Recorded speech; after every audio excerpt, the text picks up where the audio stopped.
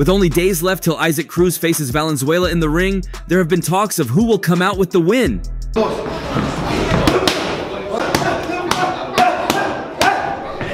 And while many of us see Cruz dominating, others like Eddie Hearn do not see Cruz winning.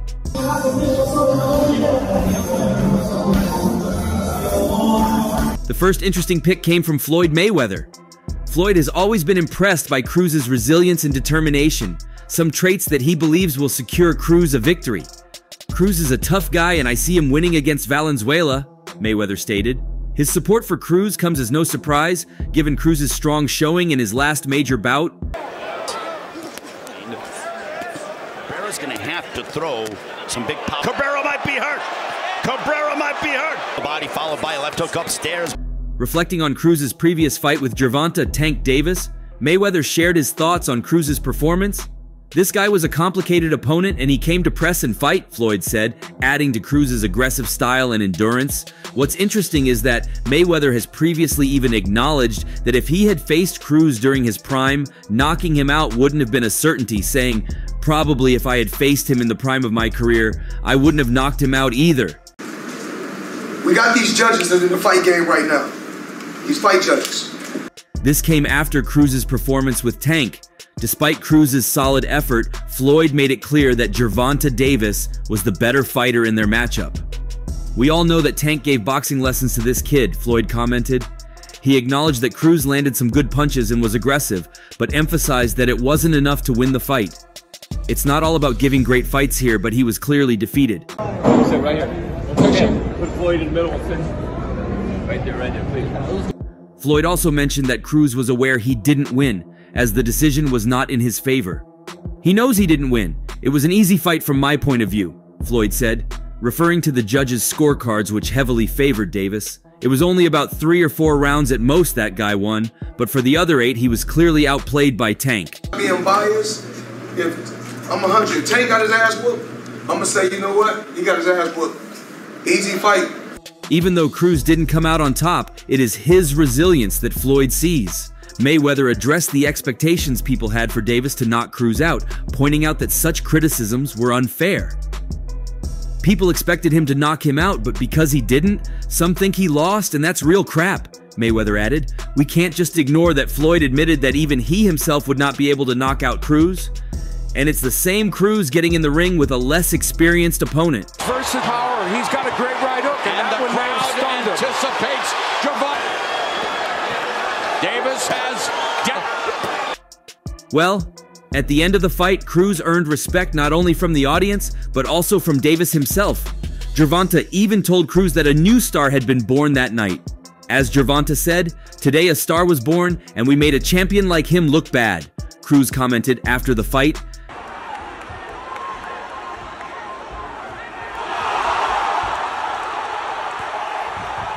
Till now, it has always been said that Cruz was the best opponent Tank has ever faced.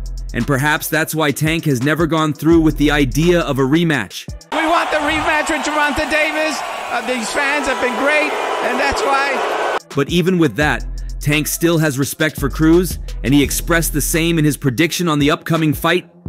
Tank added to Floyd's thoughts when he commented on Cruz's upcoming bout against Jose Rayo Valenzuela, saying, No chance. I think Cruz knocks him out cold. There's no way that fight will go more than five rounds. Definitely Cruz will take him out quick. Gervonta's words highlight the respect he has for Cruz's power and skills in the ring.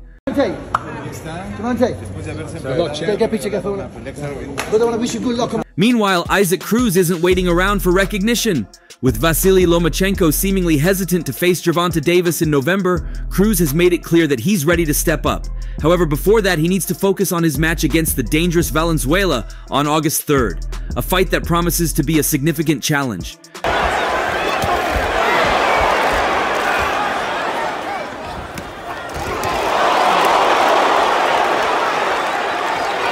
Cruz, the WBA junior welterweight title holder, is not taking Valenzuela lightly. It is surprising because I thought it was almost a done deal, but then again, if he didn't want to fight him, you've got to respect Lomachenko's decision, Cruz said, reflecting on Lomachenko's decision to step away from the potential fight with Davis. Yes, I, I, I can fight Gervonta, but I will not pursue nobody. Then I will be focused now this time for Valenzuela, and I will fight everybody that. Cruz added, and then that just means that I'm in top condition to be able to be considered to fight Gervonta on whatever date is available at the end of the year, and if it happens, I will be ready. Get everybody. Yeah.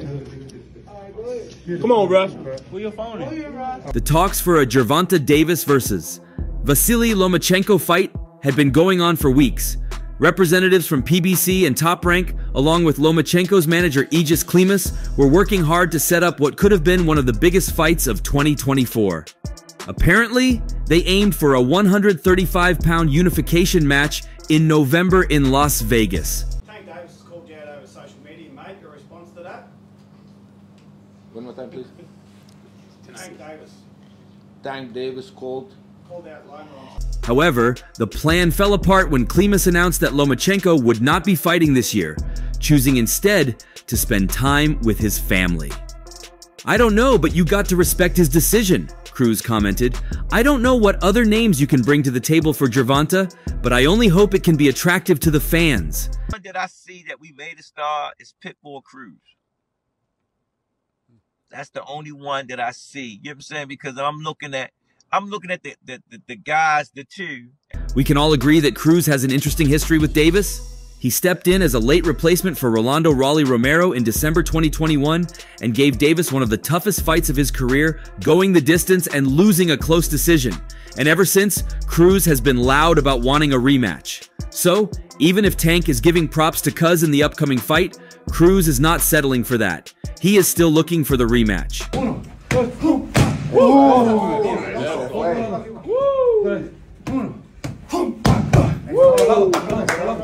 But while his eyes are looking at Tank, Teofimo Lopez is after him.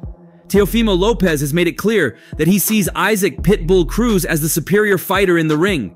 Speaking about Cruz's upcoming bout, Teofimo confidently stated, Cruz is a beast. Who's the other kid? Yeah, he's not going to have a chance against Cruz, man. We all know that. This endorsement from Teofimo showed his belief in Cruz's abilities, so much so that Teofimo added, That's why I want to fight him indicating his desire to challenge Cruz in the future, which highlights the high regard he holds for Cruz's fighting prowess. I'm ready for it, man. I'm excited. I, now I know how to face fighters like that even better, on a better standpoint. You know what I mean? Just more conditioning, more track work, and that's it. You know, I think this gives everybody a more opportunity to jump that gun. But let's see how they do once we start clacking them up. Teofimo's admiration for Cruz's skills comes at a time when his own career is at a crossroads. After his recent victory over Steve Claggett in Miami, Teofimo faced the media looking somewhat battered but unapologetic about his performance. I don't care how I look, as long as my hand gets raised at the end of it, Teofimo said, emphasizing his focus on winning rather than aesthetics. His promoter, Bob Arum of Top Rank, seemed less than thrilled with the outcome, despite Teofimo securing the win. Bob said I did well. He didn't look too happy. F it. I'm your only last star available. Teofimo said, addressing Arum's visible disappointment and his own importance within the promotion. I'm not on that side, we're on this side over here. So, um, you know, I wish nothing but the best for these guys. The fight against Claggett was supposed to be a showcase for Teofimo, a chance to impress and solidify his standing. However, the performance fell short of expectations, raising questions about Teofimo's current form and future potential. At 26, Teofimo has faced scrutiny over whether he still has what it takes to compete at the highest levels, especially in the stacked 140 and 147 pound divisions.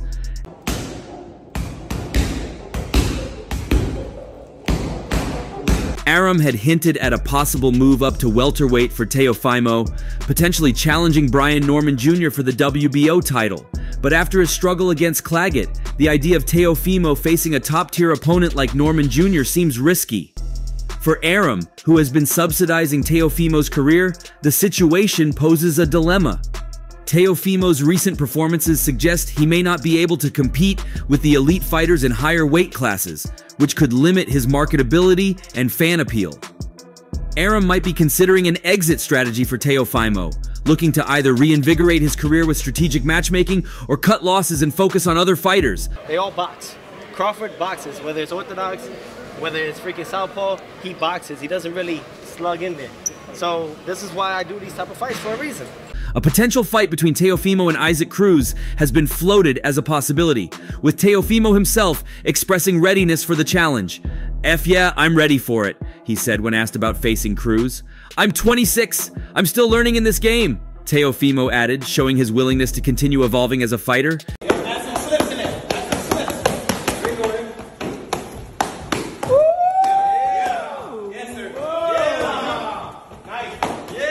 If the matchup with Cruz doesn't materialize, Arum may consider other avenues. Keyshawn Davis or Raymond Muratalla could be viable opponents for Teofimo, offering a chance to reignite his career while simultaneously promoting up-and-coming talents. These potential fights would not only provide Teofimo with a platform to prove his mettle, but also help build the profiles of these younger fighters.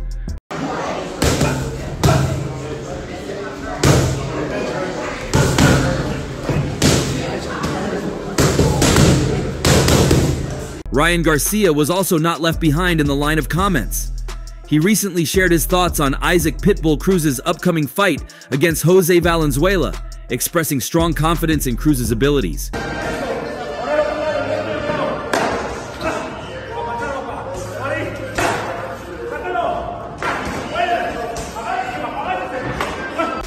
Isaac Cruz is going to win, no doubt. He's too powerful and relentless for Valenzuela to handle. Garcia's praise didn't stop there. He further emphasized Cruz's strengths by saying, Cruz will dominate this fight.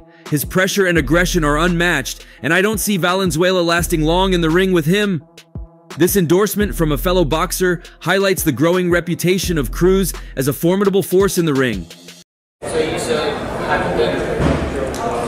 fight for some reason. However, while Garcia is at that, Cruz, Currently, the WBA 140 pound champion has his sights set on more than just his next fight. During a press conference in Manhattan, New York, where he announced his title defense against Valenzuela on August 3rd, Cruz shifted his focus to Ryan Garcia's lack of discipline.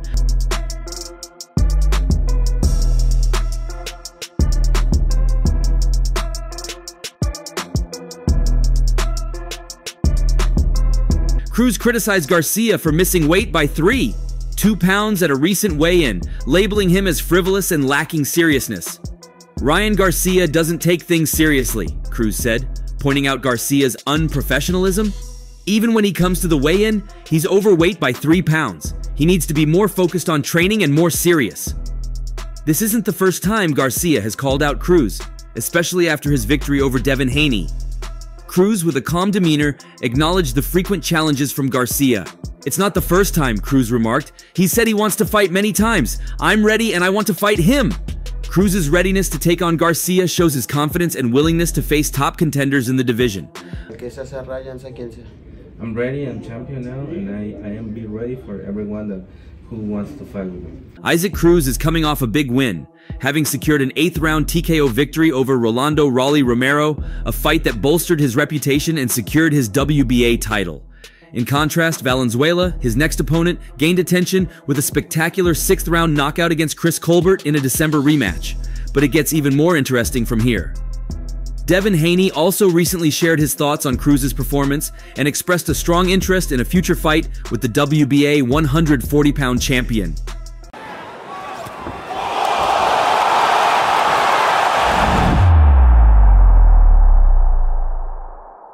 On social media, Haney hinted to His Excellency Turki Al Sheikh, a prominent figure in the boxing world, that he was interested in a unification match against Cruz. Haney praised Cruz's tenacity and relentless style in the ring, noting that Cruz's ability to maintain pressure on his opponents makes him a formidable fighter. However, Haney also pointed out some areas where he believes Cruz could improve. Pitbull has a lot of heart and fights with a lot of aggression, Haney said. For sure, he's going to win against Valenzuela, but he tends to leave himself open at times, and that's something I've noticed in his fights. He's got power, but he can be predictable with his punches. Despite these criticisms, Haney acknowledged that Cruz's strengths outweigh his weaknesses, making him a tough competitor for anyone in the division. The look at the bodywork by Isaac Cruz to start the night. Gripping shots. Isaac Cruz day drops Magdaleno on a heavy right hand. Haney's interest in fighting Cruz is interesting, especially considering his recent performance against Ryan Garcia, where he suffered a loss by decision. Haney is looking to rebound and sees a fight with Cruz as an opportunity to prove himself. I respect Cruz and what he's accomplished, Haney said. A fight with him would be a great challenge, and I think it would be an exciting match for the fans. However, there are some complications surrounding Haney's desire for a unification bout. Cruz is already scheduled to defend his WBA title against Jose Rayo Valenzuela on August 3rd at the BMO Stadium in Los Angeles. Moreover, Haney has a mandatory WBC title defense due against Sandor Martin, a commitment he postponed to fight Garcia. This situation raises questions about whether Haney can realistically secure a fight with Cruz without first fulfilling his obligations with Martin.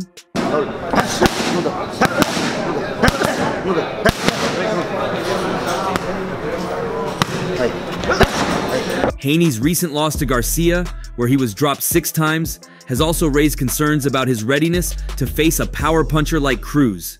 Critics argue that Haney should focus on rebuilding his confidence and skill set against less formidable opponents before stepping into the ring with someone of Cruz's caliber. The fight against Garcia highlighted Haney's struggles with holding and clinching, tactics that some believe he used excessively to survive the bout. For a potential fight with Cruz, a strict referee might be necessary to ensure fair play and limit excessive holding.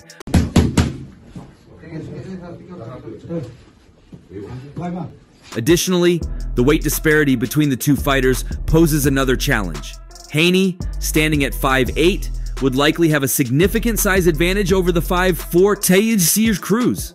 To level the playing field, a rehydration clause might be needed to prevent Haney from gaining too much weight after the weigh-in, which could give him an unfair advantage in terms of size and strength. While almost everyone is predicting a win for Cruz, Jose Rayo Valenzuela is full of confidence as he prepares to face his opponent. The 25-year-old Valenzuela has been vocal about his intentions, predicting that he will knock out Cruz in the bout. Valenzuela has made bold statements in the lead up to the fight, confidently predicting that he will knock out Cruz. This prediction seems to have caused a stir, as Valenzuela noted that Cruz declined to shake his hand, possibly due to the knockout forecast. When the kickoff press conference uh, started and he didn't want to shake your hand, you know, he, he said in an interview it was because of, of something that you said about him in the past. But when that particular incident happened, did it kind of throw you off? Um, it didn't. Uh, it didn't really throw me off. I feel good. I'm ready to fight. I'm ready to get in there and showcase my skills, Valenzuela said in an interview with Little Giant Boxing. I'm tapering down the weight so I'm feeling faster. I was going up in weight, putting on muscle. I'm bringing it back down and everything is where it should be. Valenzuela's surprise at Cruz's reaction underscores a broader cultural difference in how fighters approach pre-fight promotions. He suggested that Cruz might not fully grasp the promotional tactics often used in the US, where fighters frequently predict knockouts to build hype and draw interest.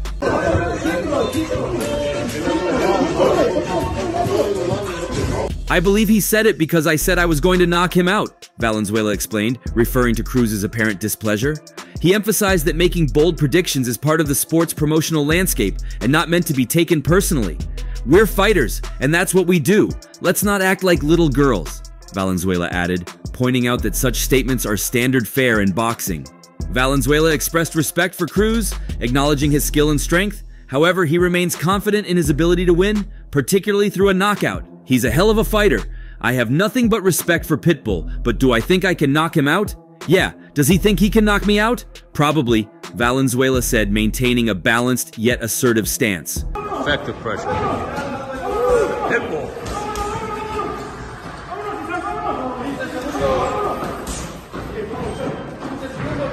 The psychological aspect of the fight cannot be ignored. Valenzuela's comments suggest that Cruz might be feeling some insecurity, especially given the predictions favoring Valenzuela, including those from prominent figures like promoter Eddie Hearn. I think I'm gonna hurt him. I don't see myself not hurting him. It's going to be a clash. I have everything to fire back too, Valenzuela confidently stated. This mental edge, combined with his physical preparation, positions Valenzuela as a formidable challenger gonna be a hell of a fight.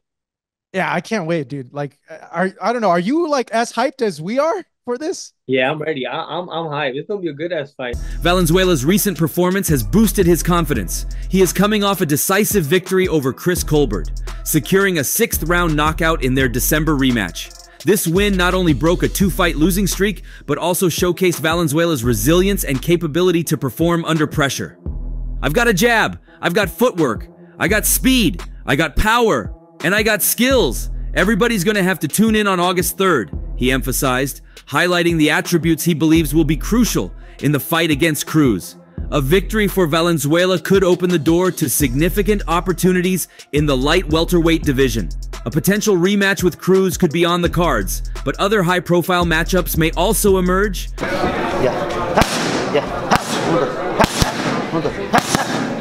Valenzuela could also find himself facing other notable fighters such as Liam Paro, Devin Haney, or Teofimo Lopez, further elevating his status in the sport. Well, who do you think comes out with the win? Share your thoughts below and don't forget to like and subscribe for more.